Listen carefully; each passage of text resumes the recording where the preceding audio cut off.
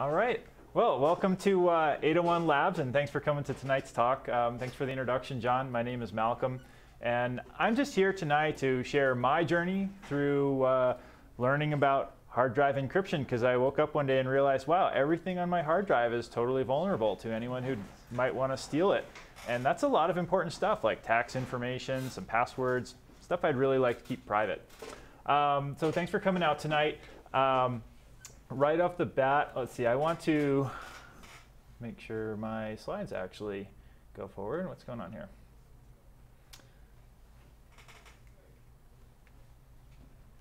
Why are you not cycling? There we go. This was working two seconds ago. Okay, so um, before we get into this, I just want to put out the obligatory disclaimers out there.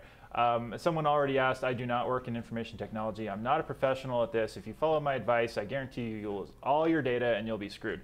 So um, just uh, be wary that you need to back up your stuff, go carefully with any sensitive data, and um, you know there's no warranties.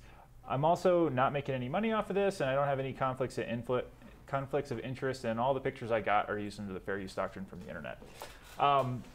As we delve in on the next slide, there's a cartoon that um, several of you have probably seen already. And I think it's really important because as we start talking about this, it exposes kind of a, a cynical reality lurking behind a lot of people's enthusiasm for encryption. So take a look at this if you haven't already.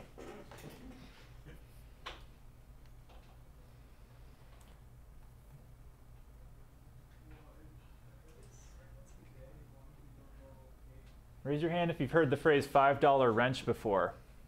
I don't know if XKCD invented it, but they sure made it a lot more popular. Um, the basic idea is that you can learn all the magic tricks in the book for encrypting, but we eventually have to live in a real world with upsides and downsides to every strategy that we choose. And it's really important that you consider all the upsides and downsides so that you have a strategy that's right for you. It meets your needs against your threat within the resources that you have available to you. Um, so what we're going to cover tonight, this talk is uh, hopefully part one of uh, further parts, and I'm going to be focused on conveying some basic concepts. Uh, if you've been hacking Linux for a long time, um, this may be a lot of review, and I know that there's some very experienced people in this room tonight, and I just want to say I appreciate everybody for coming out, um, whether you're new at this or um, uh, an expert. Um, so uh, if you don't use Linux, that's okay too, because a lot of the basic concepts are universal, and you can use them on Windows and Mac laptops with tools that are designed for those systems too, basically to achieve the same thing. And I've tried to point out in uh, many places where those alternate tools uh, are for Mac and Windows. Um, we'll start with some simple stuff about encrypting and decrypting a single file because if you can understand that, then basically everything else that you do on your hard drive is just that scaled up to your file system and automated behind the scenes so that you don't have to think about it. Uh, and the next thing we'll want to talk about is why would you even want to do this? The question is actually a little bit deceptive. It's not as simple as just, well, protect my data, duh. Um, and there are a lot of different strategies you can use. So as I mentioned, it's important to pick the right one for your needs um, you know, if you make it too cumbersome, you'll never use it, and so you've defeated yourself. Or even worse, you might think you're secure when you're actually not, and then you have a false sense of security. Um, from that, we'll talk into what, how you actually implement some of these strategies, and then we'll, I'll introduce you to some of the beginning steps for how you might go home tonight and put a, an encrypted partition or encrypt your whole Linux system, or even your, um, your other operating system. Um, so let's see. Um, and also, we've got some laptops courtesy of the Hackerspace that people can practice on tonight if they want. I've got some thumb drives with some installation ISOs, and we can go through it. And there's also a couple laptops that are set up for a capture the flag if you want to try your hand against uh, some encryption strategies. All right. So, um, as I said, I recognize we have a, a, diversity of experience in the crowd here. Uh, raise your hand if you consider yourself relatively new or a novice Linux user. Okay, great. We've got um, some folks who are new to it. What if you're a longtime Linux user? Okay. Um, who's tried cracking passwords? All right. Were you successful?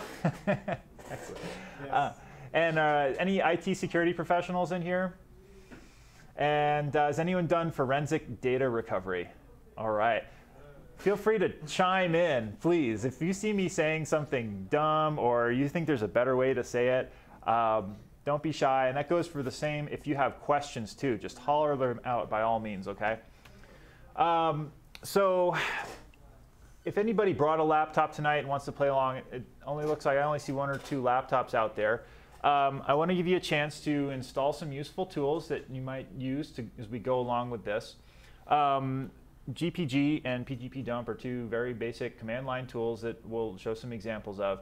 And um, if you're on Windows and want to use similar tools, you can go to this website and, and download them. Uh, does anybody need this screen or can I move on? Uh, sure.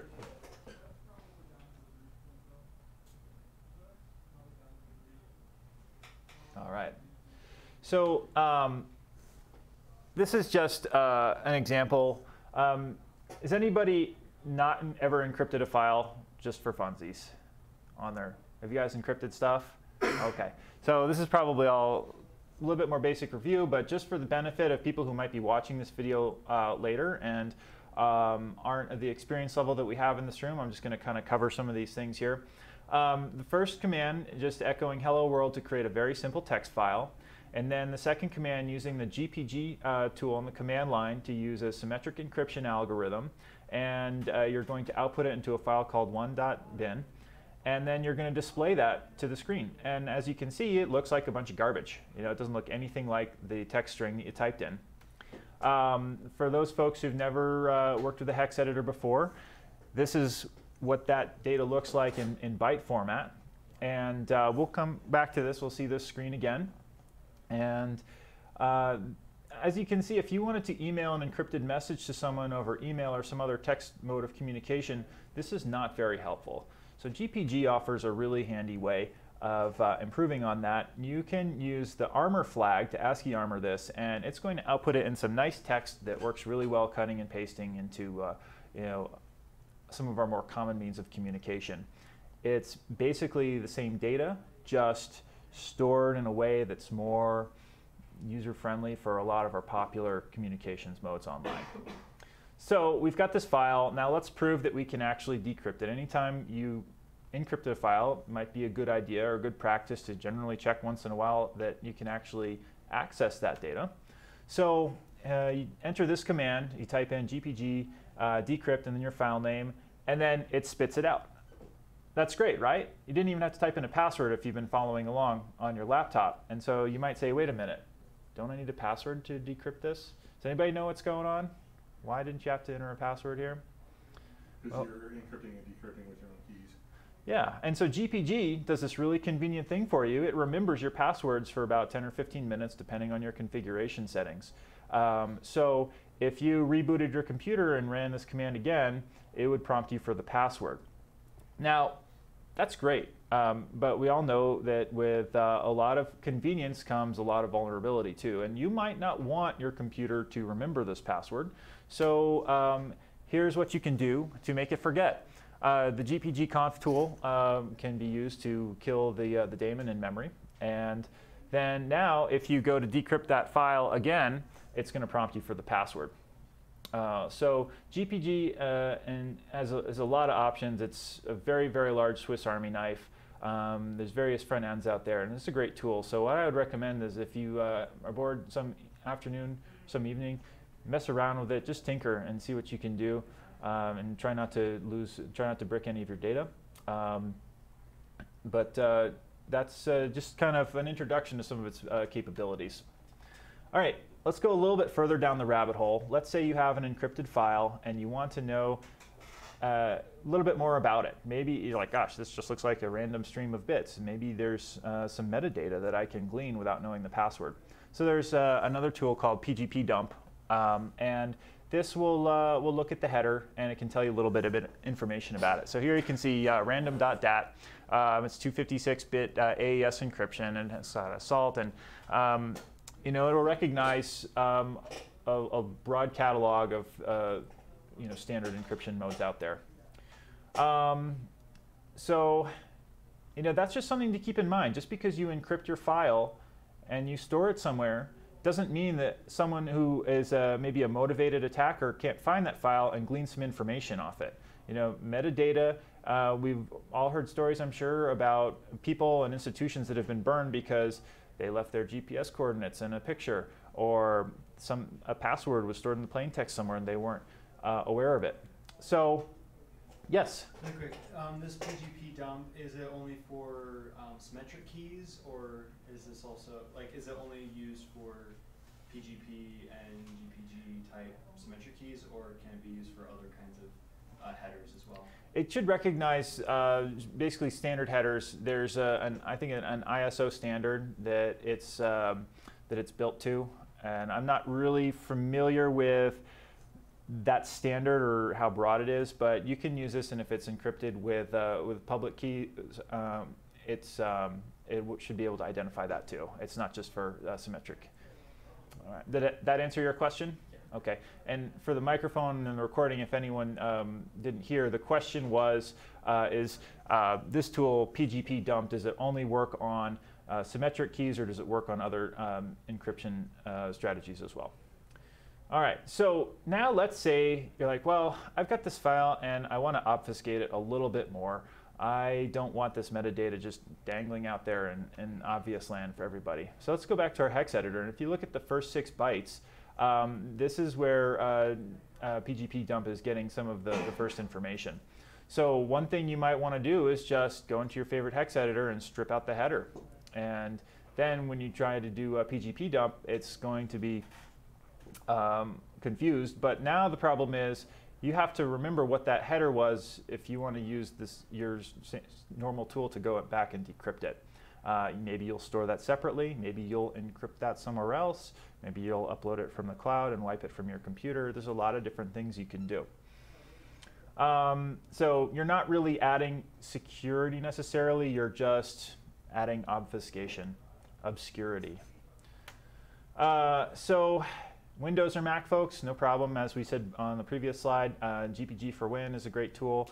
Um, and you can also go to gpgtools.org to get a, a lot more um, information and uh, uh, the manual and uh, source code perhaps. So, uh, so congratulations. Um, anyone who's following along has just encrypted your first file perhaps.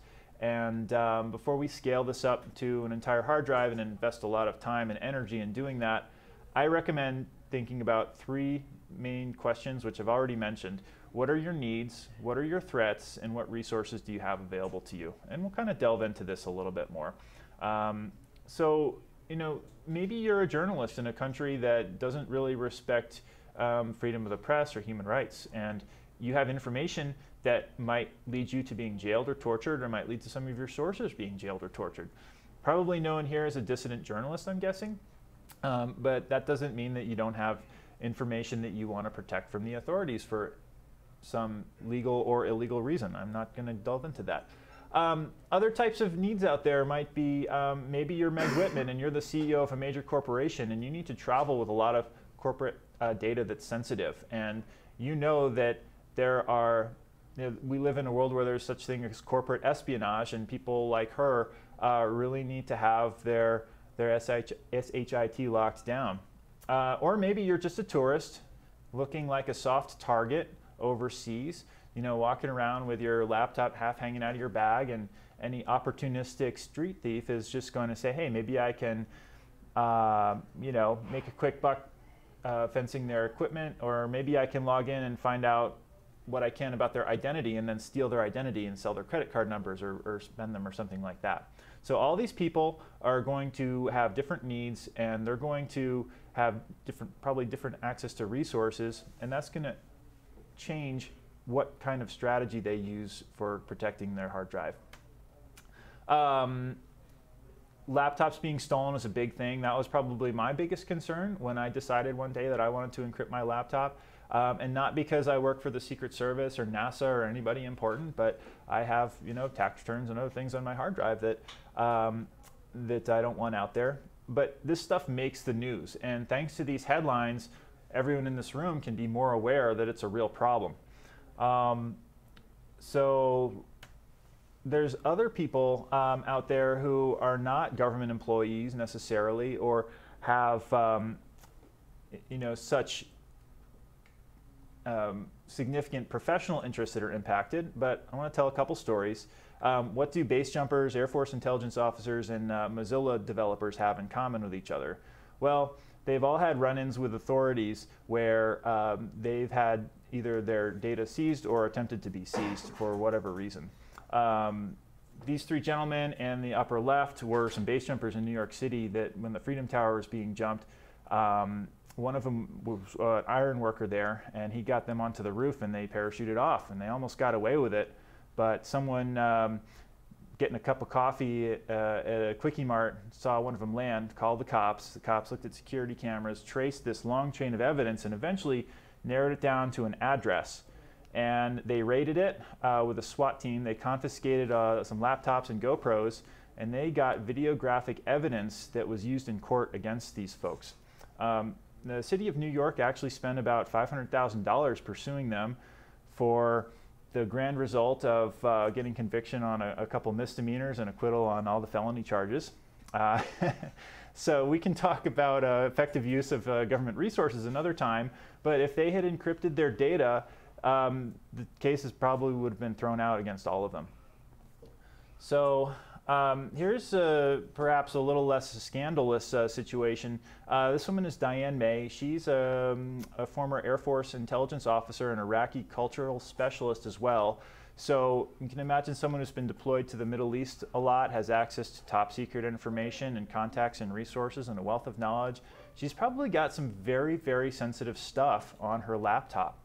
Uh, she uh, got out of the Air Force and worked as a consultant, and she was coming back from a conference in Norway, um, coming back into the country at Miami Airport, and she was flagged for additional screening, perhaps because of her background, or maybe it was because of somewhere her passport has been. Um, you know, your, your passport has a, a, chip in it, and all the ports of entry that you cross through around the world, it's going to flag. And if you come back to the country and they say, oh, so uh, how was your trip overseas? What countries did you go to? And you forget to mention, you know, a place like Iraq or Jordan or Syria, um, they can scan your passport and they'll find that out and they'll question you about it. Anyway, she was um, asked to divulge her passwords and pins for her devices. Uh, she felt under pressure and she did.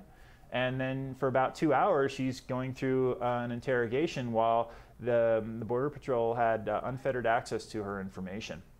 Uh, and just because they're the government doesn't mean those people looking at it necessarily have uh, a security clearance to see some of the things that she might have had. Um, so uh, she felt very concerned about that afterwards when she reflected upon the event, and she joined in an ACL lawsuit. Uh, and then this gentleman also is a uh, naturalized citizen and uh, a Mozilla developer who was flagged for extra screening coming back through San Francisco after arriving from Europe. And um, he was put in a similar situation. They asked him for his passwords, and he refused. You know, this guy is really well spun up on privacy issues and computer security. He'd probably have a very, very hard laptop to uh, to exploit. Um, and so ultimately, after uh, a couple hours of uh, being, um, you know, threatened with all sorts of things, um, Border Patrol basically gave up, and they didn't confiscate his devices, but they did revoke his uh, global entry uh, clearance. So that's something that he paid money to get and had to go sit through an interview. So he suffered retaliation. And maybe one of your needs isn't just to protect your data. Maybe one of your needs isn't just um, eh, you know, to keep your information secure. Maybe your need is also to protect yourself against retaliation from people who are pissed off at you that you didn't give them what they wanted. And he's also part of this lawsuit. Marv, yes? One note is that within 100 miles of any U.S. border, the Border Patrol has the authority, I won't say right because I disagree that they have that right, but Mhm. they have the authority to, um, do, or to ask for your, uh, pins and things like that. That one hundred miles of the border of the country encapsulates like eighty to ninety percent of the population of the country, cause they live on the seacoasts. Yeah. And so just something to think about when you're in California or New York. Yeah, or 80 to 90 percent of the places you might go. Uh, Marv, thank you. That's an excellent point, and that's actually a, a great uh, a great segue. Um, uh, do uh, some updates on this. So the the lawsuit has been working its way through the courts, and that um, exception you talked about the um, the border exemption for the uh, search and seizure rules.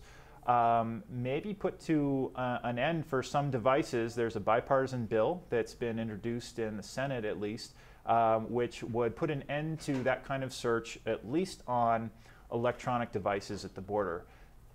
It actually doesn't really get into the 100 mile thing. That's a whole nother separate problem, I think, from a, from a, a libertarian point of view. Um, but uh, if 80 to 90% of the population, or whatever the number is, is affected by this exception, at what point is the exception now the norm? You know, something to think about. Uh, searches are on the rise also. Um, this is a little bit old data at this point. It's hard to get new data, but basically, this is showing over the years how the uh, trajectory of the number of devices searched is pretty much on an exponential uh, path right now, and it's probably up to four, I've heard it's in like 45 to 50,000 uh, from some more recent data. Um, so the chance of you getting flagged is still really, really small. It's 0.005%, but there might be certain things about your background. You know, maybe you have a blog with some political opinions on it, or maybe you've traveled to certain countries. That can jack your risk of getting flagged for extra security uh, very high. And it would be nice to have a strategy on your computer where you can protect your data and also not make it obvious that there's anything there so they don't even waste their time searching, yet you have something hidden. Um, other things that have gone, there's, there's actually multiple lawsuits out there. Um, there have been non-border raids, including on journalists. So this is a problem that's everywhere. Um, so let's change gears a little bit. I think I've made my point that, and you're all here, so you understand that this is a major issue. Now that we are past that, what do we want to get out of disk encryption? I just want to kind of pull the audience here, just holler out what are some things that you're interested in, in achieving? Regulatory compliance. Regulatory compliance. That's a really good one. If you work with, with anything that's uh, PCI, PHI, PII, uh, you're under both uh, contractual and legal obligations, if not moral obligations, Mhm. to protect that. And that's encryption and data at flight, and encryption and data at rest. So if you work in healthcare, for example, that definitely applies to you, right? If you don't work in healthcare, but you're working in HR and you have to file people's FMLA regulation or Yeah. uh, stuff, you have PHI that is under HIPAA. That's an excellent point, and that's something that we would all want to make sure is part of our encryption if we are under some sort of uh, regulatory burden. Um, who else? What, what else would uh, people want to get out of this? Bueller. Lengthen the time for people to attack. so making yourself a, a harder target, or Yeah. okay, Just that there can be easier nuts to crack than You have to be a harder target than people around you. Yeah. You don't have to be the fastest runner. You just have to be faster than the second slowest runner the bear is chasing, right? Yeah. Okay. Um, anybody else? Any other things we might want to get? We already mentioned a couple of them. We want to keep our data safe. We want to not suffer retribution if we fail to comply. Um, I came up with kind of a list here. We want the data to be available to us. If we encrypt it so hard that we can't get it, or the encryption is so cumbersome that we, it just takes forever, it's not really useful, is it? We want it to be available to others that uh, we want to share the data with legitimately. Um, apps like uh, Signal um, are probably a common way that people use that and don't even think about it. Um, secure Hypertext Pro HTTPS. Um, we use that all the time and we don't even think about it on most of the websites we go to nowadays. Uh, we want it to be private so people who can't, who shouldn't have access to it, can't access it. We want maybe to have deniability. That's something where if someone says, I think you have data here, you can say, prove it. And they can't prove it because they can look through your hard drive and you've gone through and you've scrubbed out um, all of the suggestive or incriminating metadata or other little tidbits that they might latch onto to prove that you're trying to hide something. Um, we might want it to be destroyable. Let's say that you're put in a situation where someone has a $5 wrench and they're going to beat you until you get this data. Most of us probably don't have the burden of carrying information that we're willing to sacrifice our health and well-being to protect. Hopefully not anyway, but there are people out there who, who do and they want their data to be destroyable under uh, certain circumstances. Um, we want it to be easy to use. We want it to be portable, maybe even cross-platform. We want it to be reliable and resilient so that if um, you need it, you 100% can count on it being there when you need it. Um, and we also maybe want it to be uh, fault tolerant or mistake tolerant. Like if we screw up one little thing, we don't want to brick our hard drive and lose our data and accidentally destroy it too. Um, we also maybe want to have a system where um, or maybe our operating system is paranoid and maybe it re-authenticates us at certain intervals so that if you are working at your laptop in a public space, you turn your back for two seconds and someone steals your laptop, you know, if they close the lid and open it up and you have a screensaver password, that's a great example that you wouldn't even think about where you have to re-authenticate. Or maybe you have something that every certain period of time, so if your laptop is confiscated and you know someone is in there typing away, exploiting it, all of a sudden a, a window pops up and they can't proceed until they get a password. So these are all just concepts to think about, and you can go way down the rabbit hole. But I'm making the point that hard drive encryption is not just as simple as clicking the box encrypt my home folder when you start a new Linux installation, for example. Um, so what are some big picture strategies we can do to do this? So uh, we already walked through earlier in the evening an example of encrypting a single file. And for some people, maybe that's all you need. Maybe you can just put them into a folder zip it up into an archive, and now you can just encrypt that folder. Um, these are simple things. You don't need to make major changes to your file system or your online or your, or your electronic lifestyle to implement. Um, getting a little more complicated, maybe you want to encrypt uh, an entire partition or even your entire hard drive, which is probably why a lot of us are here tonight. And then you can also encrypt things on the cloud, which is a whole other realm, which is kind of beyond the scope of tonight, but something that could be a useful adjunct to some of our strategies if we want to cross a border, for instance. Um, now, as far as actually doing this, there's uh, two basic strategies that I'll introduce here tonight. And this is just a brief introduction because we're not going to get too technical, but it's important to know when you're picking a hard drive encryption strategy that you know that there's blocked devices and there's stacked file system devices. And these are examples of two of the common systems, of common options available for Linux. And, and VeraCrypt is another one, uh, which we'll talk a little bit about too. And so what's the difference? What, what is a block system and what is a stacked system? So a blocked device basically takes your storage media, treats it as one block and encrypts everything, and the file structure the file system structure and all the, the overhead used to kind of maintain the system is encrypted with it. That's uh, complementary to a stacked system where um, in some cases the structure of your file system is available in plain, uh, in plain data.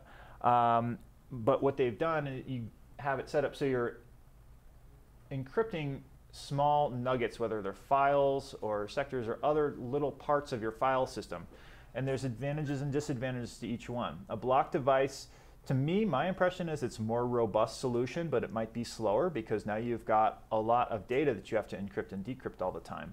A stacked system might have the advantage of being more granular. You can have more individual control over the files. It can be easier to implement uh, post installation if you're working on a hard drive that already has a lot of data and you don't want to take everything off and then put it back on. You just want to encrypt it in place.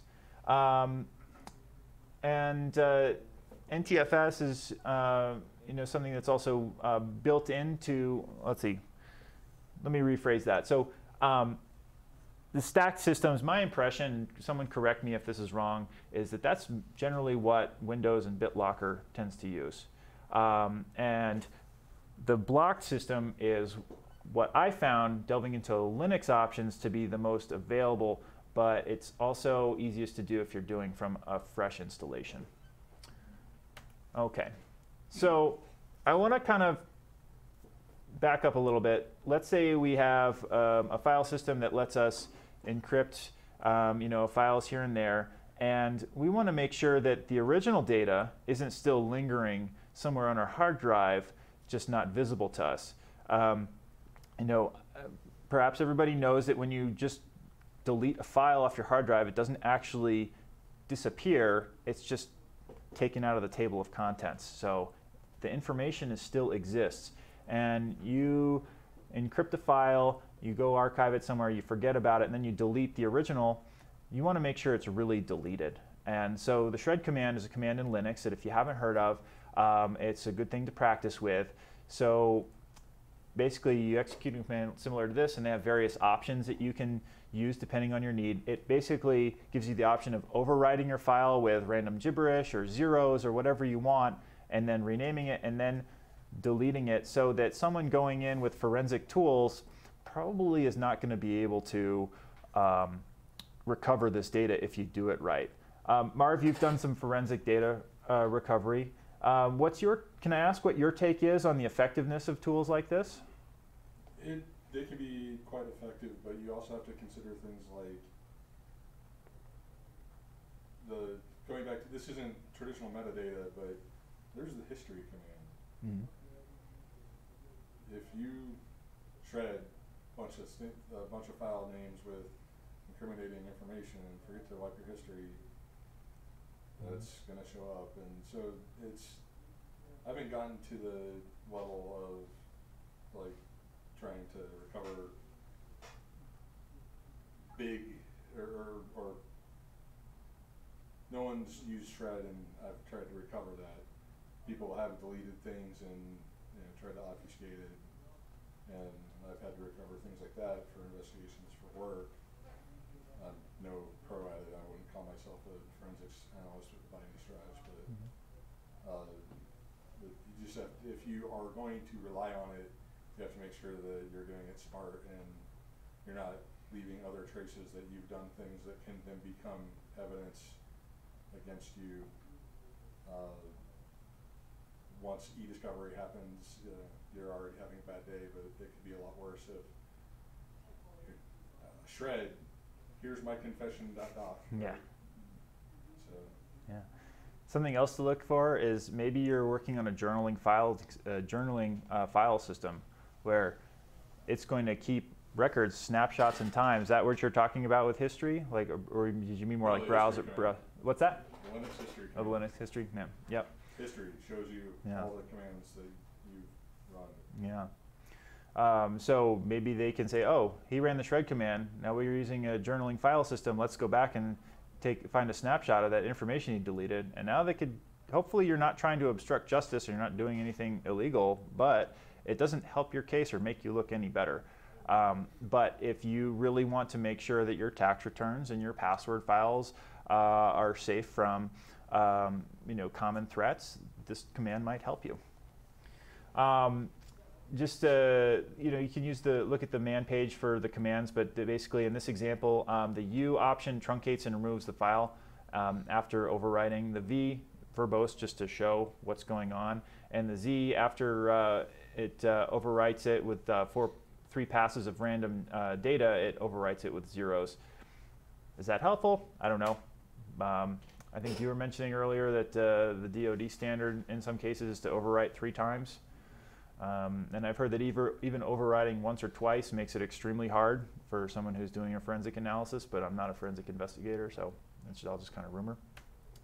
Um, if you're on Windows, uh, Cipher EXE is a similar tool. It's um, I'm not as well versed in it, so what I would say is this is a lead that uh, feel free to explore more information on this on your own if you have a need in Windows to. Um, what it does is it doesn't overwrite a specific, it doesn't shred a certain file. What it does is it just takes all the unused um, space on a hard drive and overwrites it with, with garbage. Um, okay. Cover a little bit here about Windows and Mac OS real quick. Um, if you are one of those users, um, BitLocker, if you have Windows 10 Pro Edition, if you're like most people who just bought your laptop at a store and it comes with Windows 10 Home Edition, you're out of luck for BitLocker. You're gonna have to upgrade and not spend $99 if you want to use BitLocker. But fortunately, there's VeraCrypt, which you can download. It's um, open source. Um, it has basically the same suite of um, features that uh, BitLocker does. It has you can do pre-boot authentication. It can hide volumes for plausible deniability. It has uh, pipelining and parallelization, which are basically like it reads files ahead and decrypts them on the fly in anticipation of you needing them, just like a you know um, you know a cache, so that it speeds things up. You're not sitting there watching the clock tick as uh, it decrypts the data that you need to use. Um, and then uh, Mac OS uh, FileVault 2. I'm not a Mac guy. Is anybody a Mac person in here? Use one. Yeah, Anybody? Not, not on purpose. Any anybody uh, use FileVault 2? Have any experience with it? Any impressions of it? I mean, it works. It works. Yeah. I mean, that's kind of seems to be my impression of a lot of things Mac. Like it's there, it works, and then you don't Until it really doesn't, yeah, until it doesn't. mad. Yeah, and then you can't really do anything to fix it when it doesn't work because it's Mac. Works great until it doesn't anymore. Um, so let's see. Um, decision time. So we're getting closer now. You want to encrypt your hard drive. Um, some decisions to make. Do I want to do this on a new install or do I want to try and encrypt data in place? Uh, Veracrypt, uh, BitLocker, and I believe FileVault uh, 2 make it easy for you to encrypt data that's already on your hard drive without having to start over from scratch.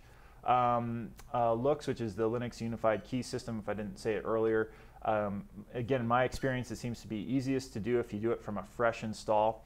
Um, so you have to kind of sit down and you know plan ahead. If you just go back up your data and uh, start downloading stuff and trying to install file systems like I did, you're going to probably not be using your time very efficiently. um, so just try to plan ahead. Um, so uh, something that uh, I hoping that we we can I'll go home and do tonight if uh, if you haven't done it before is feel comfortable at least giving this a shot. So um, first step, back up your data. Back it up, back it up, back it up. Um, and then if you have never used um, Linux before and you want to try, you know, take the plunge, I think this is a great opportunity to start out with an encrypted partition or encrypt your whole uh, hard drive, including your boot sector too, if you want. Um, and then um, if uh, people do this and want to come back for the next talk and talk about, share their experience and reflections on it, I think that would be really awesome. Um, so I use Linux Mint for the uh, demo laptops that uh, we have here. And um, this is the home pages where you can download it. And if anyone wants, I've got some thumb drives if you trust strange thumb drives, which you probably never should, but you can try them on the laptops and then, uh, you know, not, uh, um, you know, d- sully your own devices with them. Um, you can try that tonight. Uh, so you can download it there. Um, if you're on Windows, uh, if you're a Windows user, first thing you're going to need to do is you're going to need to put this ISO file onto some bootable media, like uh, a thumb drive that you purchased from a safe source. So how do you do that in Windows? Anybody, uh, any Windows people who are primarily or only Windows users here? Rufus is awesome. Okay. Rufus is Yeah. Win32 disk imager is not bad either. Yeah, there's a lot of options. I, Boot ISO. what's that? Boot ISO. Yeah, boot ISO. I think uh, Windows Media Creator can also do it too. Um, there's a lot of options. The point of this wasn't to go through and list the catalog of you know umpty umpty gazillion uh, tools out there that can do this, but Rufus seems to be very well regarded, um, proved by Marv as well.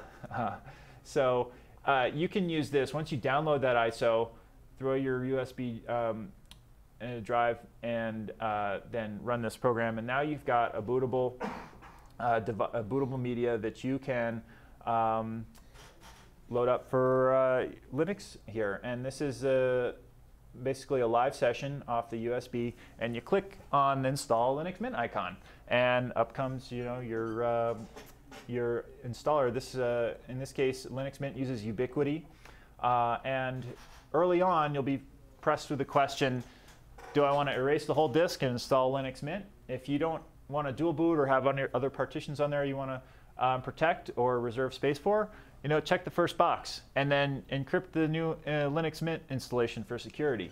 Um, that's option A, and it works. It's just simple, out of the box. It just really works. Um, it's hard to screw it up. Um, I'm, I probably have screwed it up, but it's hard to screw up. Uh, if you want to choose something else, it will bring you to a view where you can look at um, the partitions. If you're into manually editing your partitions, you can do that here. And this option is important if you want to dual boot or if you want to uh, encrypt your, uh, your boot partition as well. And there's a great tutorial out there in the Linux Mint community which steps you through. Um, and uh, it's a long tutorial. I'm not going to just go through that because that's something we can all kind of do on our own. Um, but uh, just to let you know, it's possible and it's not that hard.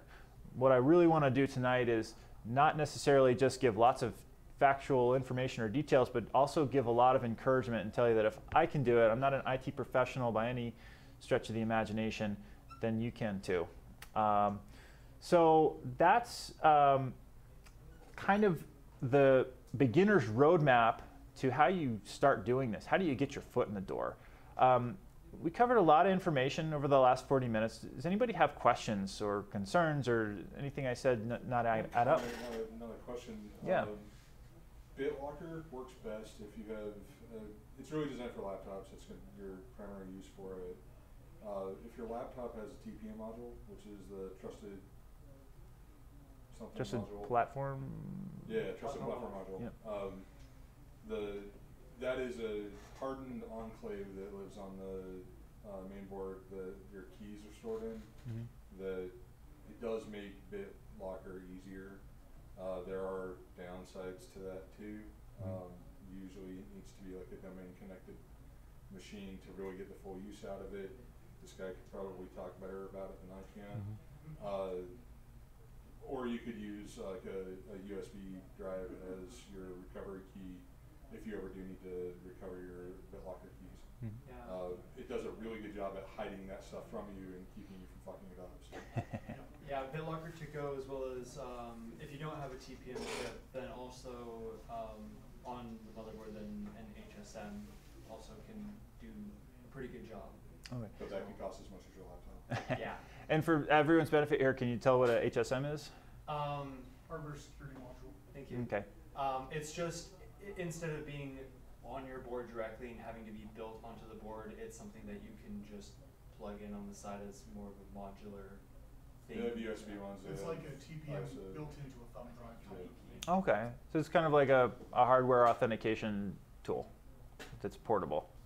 Is Yes. that like one of those two F eight like thumb drives you can plug? They're kind of similar, but no. Similar, just that it encrypts your stuff with it. So instead of a YubiKey key giving you like prompting, hey, put in your key, and then you you open it up, instead it helps encrypt your entire system.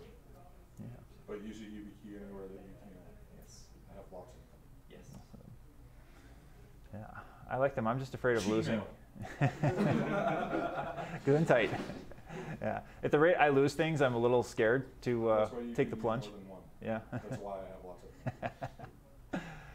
of um, any other questions, concerns, clarifications, corrections? Still a little mad at you about the sticker. That's the only concern I have. That, that, that might that might be a clue for the capture the flag actually. Just saying. Um, so uh, what I'd like to talk about next time, um, if people uh, like this talk and want to hear more, there's we're just like peering over the edge of the rabbit hole. You can go so far down this thing, and I've got some more great material. Um, but I wanted to keep this as beginner friendly as possible tonight. Not really sure like what kind of uh, uh, people might be interested in coming.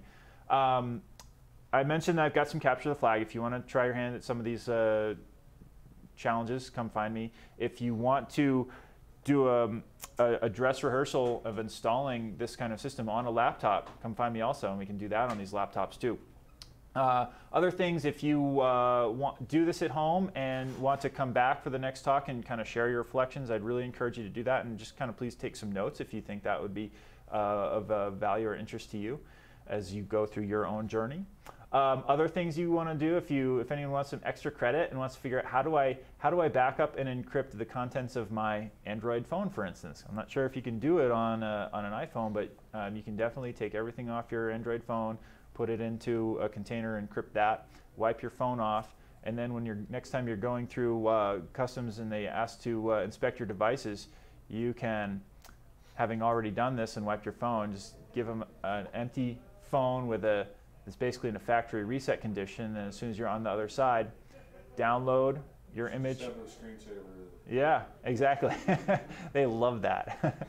um, download your image, decrypt it, and reinstall it onto your Android phone, and now you've successfully traversed the border without risking any of your data. Because the interesting thing that that um, that border search exemption and the extra leeway that um, uh, federal officers have does not apply to material on the cloud, according to the courts. And another little tidbit I didn't mention on the courts: this federal circuit courts uh, are actually now split on what rights uh, you have or don't have at the border. So you can probably expect this to go uh, to the Supreme Court in the next couple of years or sooner. So, yeah.